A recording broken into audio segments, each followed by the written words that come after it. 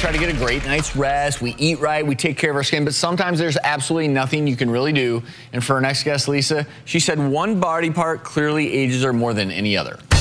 I'm here today because I just don't feel like my hands match the rest of the way I feel. I feel really good about myself and how I've kept myself in shape. However, my hands, they've lost their elasticity. The veins are starting to come to the surface. They look 60. I'd like my hands to match up with the way I feel. Hi, Lisa. Hi, Dr. Khorasani. Lisa is a perfect candidate for hand rejuvenation. As we age, our skin gets thinner and we lose some fat.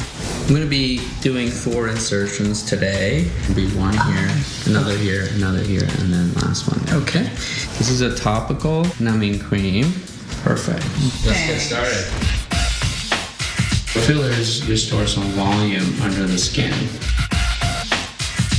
So I'm just massaging it and make sure that the filler is like evenly distributed everywhere. Um, oh, it looks great. So I'm gonna have you now sit on your hand. A combination of the pressure and temperature actually makes the filler nicely distribute under the skin. I'm gonna start injecting the other one. Alrighty. All right. I can feel a little bit, but there's no pain. Let's take a look. Right. Awesome. Look at that. What a difference. All right. Thank You're you. done. So Lisa put that hand rejuvenation procedure to the test. We have pictures of what her hands look like today, but first, Chief of Dermosurgery at Mount Sinai, Dr. Khorasani, is on Skype joining us. Doc, thanks so Hi, much. Doc. Bef- But before we uh, ask you some important questions, I do want to share with our viewers Lisa's before and after uh, pictures, just so they can get an idea of how significant the change is.